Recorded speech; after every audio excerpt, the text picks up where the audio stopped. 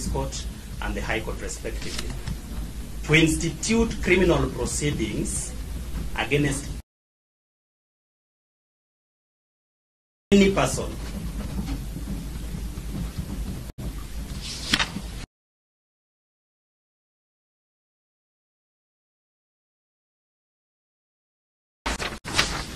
To institute criminal proceedings against any person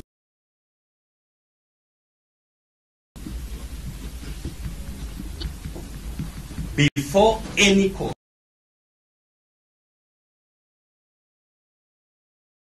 these charges before you. That then takes us to the substance of the charges before you.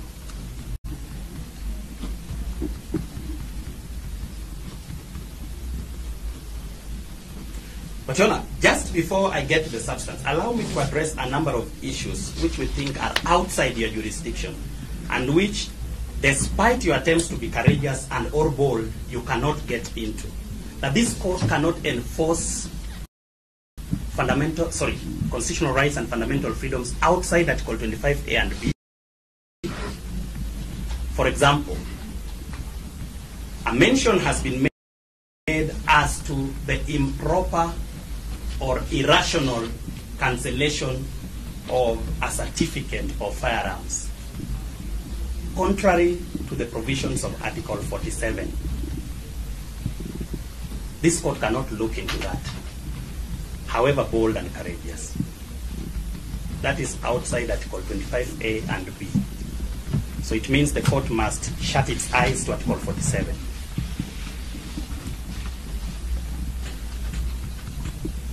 Now, this is not to say that this court is exempt from the provisions of Article 10 of the Constitution on the national values and principles of governance.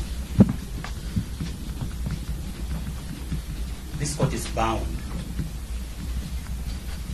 but from a holistic interpretation of Article 10 vis-a-vis judicial authority under Article 159 vis-a-vis the powers of the DPP under Article 157.6a.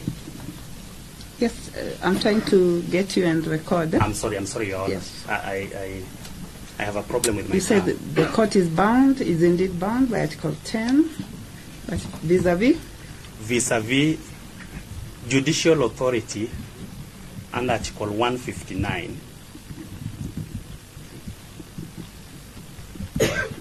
vis-a-vis the power, prosecutorial powers of the DPP under Article 157 6A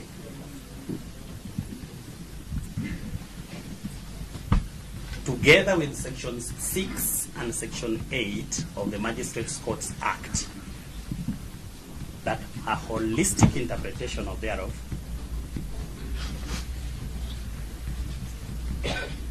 reminds this court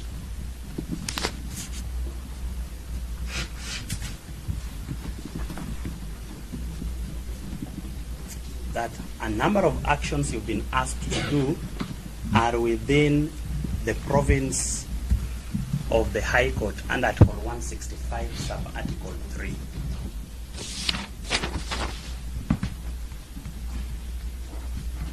One sixty-five, sub Article three. In other words, the jurisdiction to determine whether an act or omission alleged to have been done under the Constitution is in violation with the Constitution belongs to the High Court and not this court.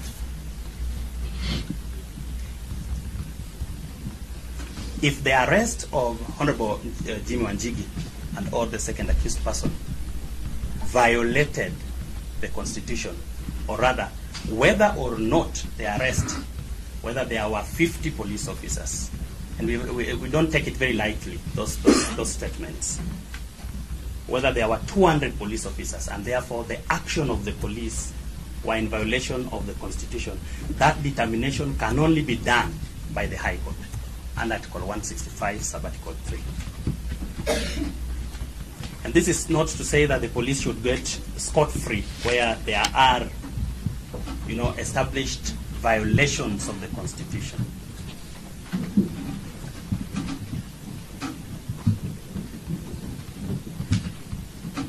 And the Constitution has provided for the means to deal with that, including the establishment of the Independent Policing Oversight Authority, Independent Policing Oversight Authority, with a mandate to investigate such allegations and to punish or recommend for prosecution such police officers.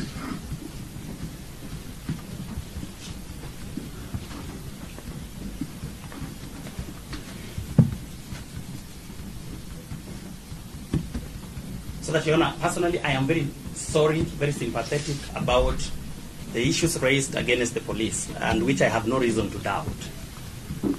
But that this court has no jurisdiction to make a determination thereon. And without jurisdiction, you down your pen on that issue.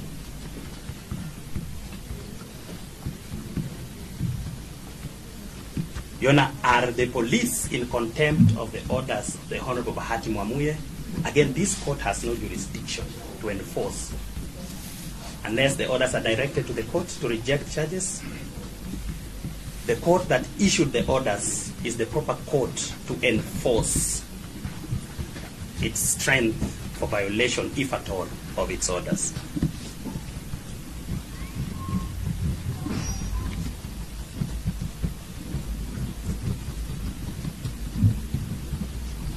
You know, if police robbed the family of Honorable Wanjigi, again, this court cannot make that determination.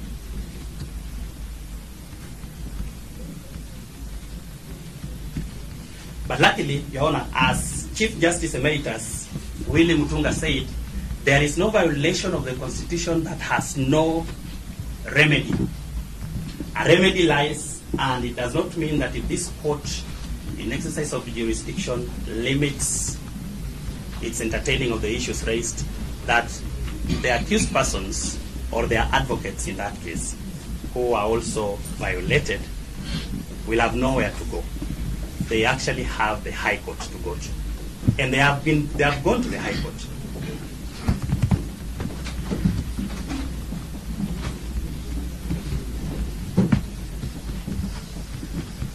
In a sense, therefore, Your Honor, still on the question of jurisdiction, what is before you is very limited.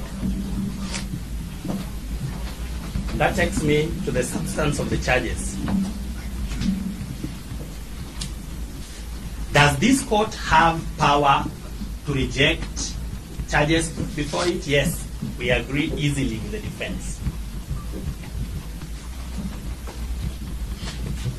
But we disagree on the basis they are inviting you to reject the charges. And from a criminal law perspective, this court can only reject charges in the following cases.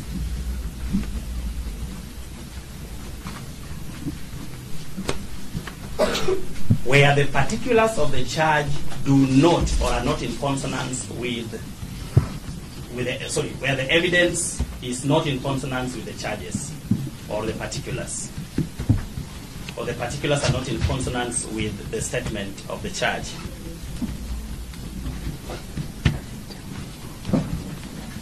You know, that power is granted under Section 89, subsection 5 of the Criminal Procedure Code. 89, subsection 5 of the Criminal Procedure Code, that this court can reject charges on that basis.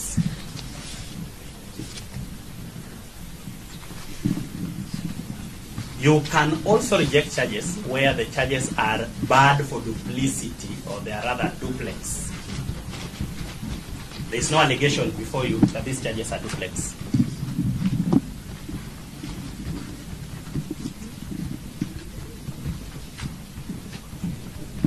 so that a charge may not be defective as proposed by the defense for the reason that the actions leading to the charge were in violation of the Constitution.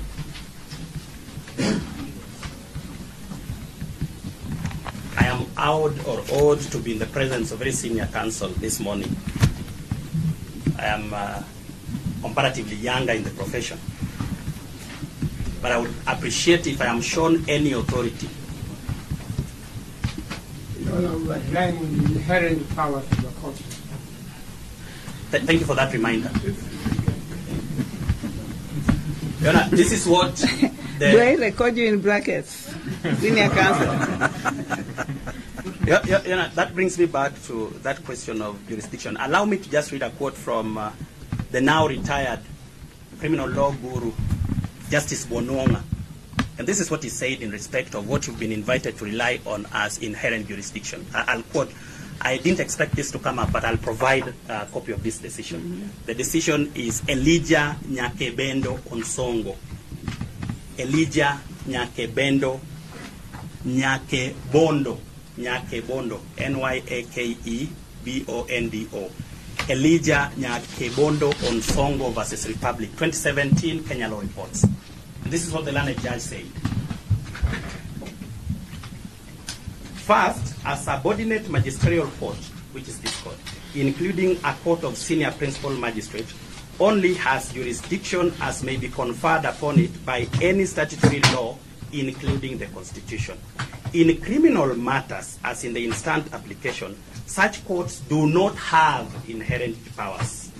It is important to point out that such courts only have inherent powers in civil matters in terms of Section 3A of the Civil Procedure Act. So that another thing as regards your jurisdiction is that you do not have inherent jurisdiction. Your jurisdiction is given by law only.